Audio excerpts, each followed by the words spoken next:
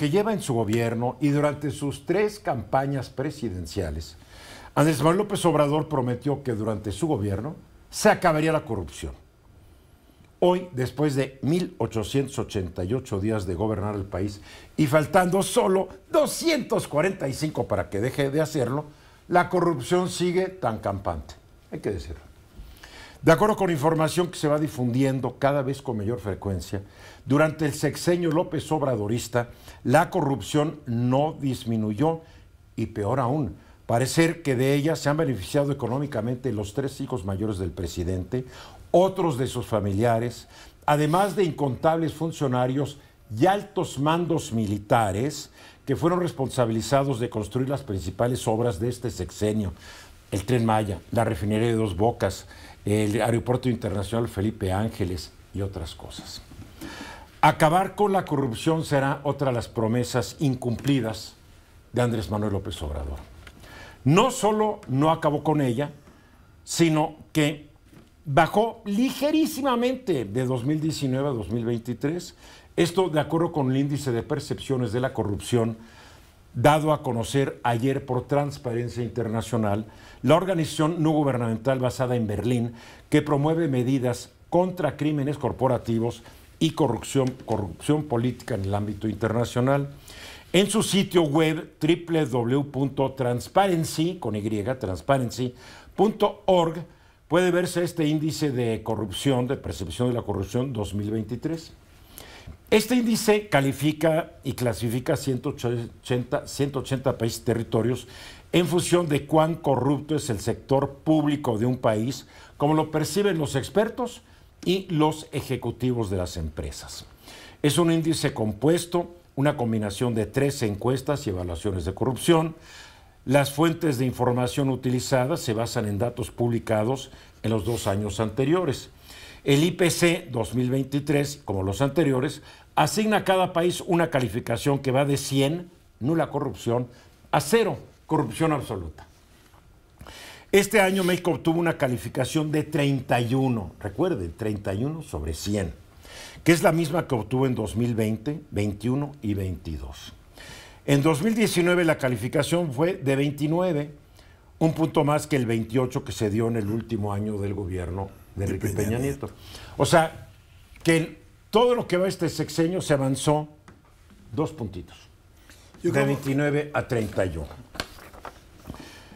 O sea que los expertos ejecutivos de empresas perciben una insignificante disminución de la corrupción en este gobierno de la 4T comparada con la del sexenio anterior, por más que el presidente su mañanera mienta al decir que se acabó la corrupción. Porque un gobernante miente sabiendo que no es cierta una cosa, pero se lo está diciendo la gente que le cree ciegamente. De entre, ciento, de entre los 180 países territorios del índice, nuestro país está en lugar número 126, lo cual significa que hay 154 países territorios menos corruptos que México y únicamente 54 más corruptos. Nada de qué presumir, porque como de repente el presidente dice que somos un ejemplo al mundo, pues sí, señor, sí, Andrés Manuel, en corrupción. Esta es una triste realidad, no solamente para México, para la mayoría de los países, para la mayoría de los habitantes del planeta Tierra, que son los que finalmente pagamos los costos de la corrupción, que son grandes pérdidas económicas debido a la mala asignación o despilfarro de recursos o desviación de recursos, que da lugar a que haya injusticia social porque no alcanza el dinero, deterioro de los servicios públicos, por eso vamos en calles que, necesitan bacheo, que no lo van a bachear, puentes de segundo piso que se caen, etcétera, etcétera. Y esto crea desconfianza en el gobierno y efectos negativos en, las, en la imagen y en las relaciones internacionales del país.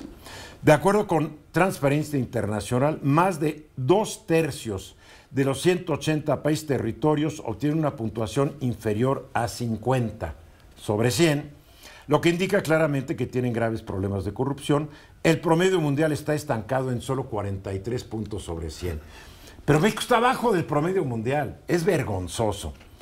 Yo me pregunto, la próxima presidenta de este país nos va obviamente prometer acabar con la corrupción, igual que lo han hecho todos sus antecesores de 1929 a la fecha. Hay que preguntarle cómo piensa hacerlo y con quién piensa hacerlo. Ojalá nos convenza de que sí lo va a poder hacer. Ahora sí, Juan. A ver, uno de los argumentos de campaña, que lo hizo ganar, por cierto, era que las escaleras se barrían de arriba para abajo y que iba a acabar con la corrupción que le costaba al país 500 mil millones de pesos al año.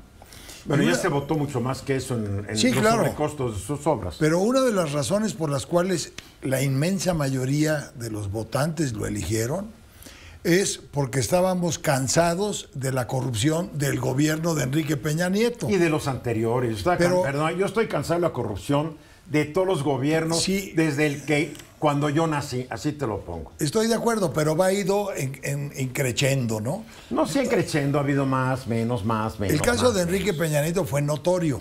Eh, no sé si le ganó al de, no sé si le ganó al de Miguel Alemán. Yo se- creo que se, iba, ahí darían iba. un quién vive. Es que había más que robarse en la de Peña Nieto con la de Miguel Alemán. Estoy de Pero en acuerdo. proporción, la de Miguel Alemán fue una corrupción espantosa. Ahora, uno de los grandes problemas, no hay licitaciones públicas, todo es por asignación. Es que directa. todo lo hizo. Todo. Todo lo hizo a los cuates, como estamos empezando a ver.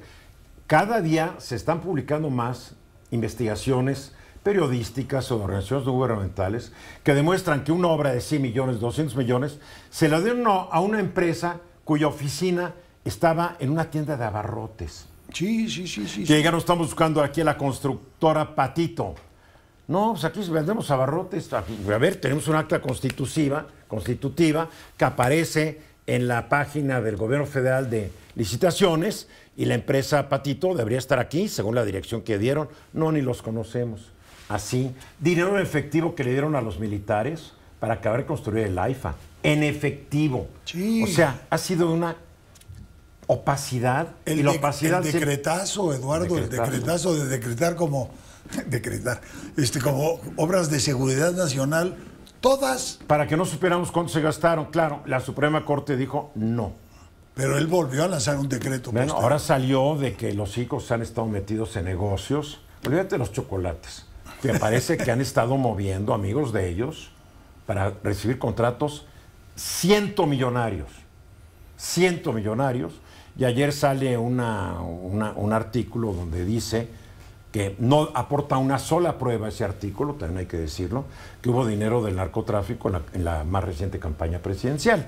Pero si no hay pruebas, se puede decir lo que quieran. Esto es una, ¿cómo se llama esta reportera? Penny, no sé qué. Que, que Penny Lane. Penny Lane. No sé, Penny Lane es la canción de los Beatles, ¿no? Sí. Bueno, ahí, ahí ven el nombre. Pero la verdad no aporta una sola prueba.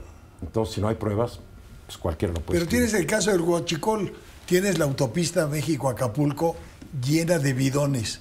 A ver, el huachicol iban a acabar con él. Parece que hay más huachicoleo ahorita que cuando llegó el presidente.